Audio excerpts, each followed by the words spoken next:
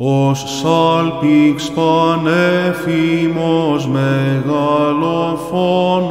φθονγεί, το κόσμο προήγγυλας, την παρουσίαν Χριστού, προφήτα θεσπέσιε,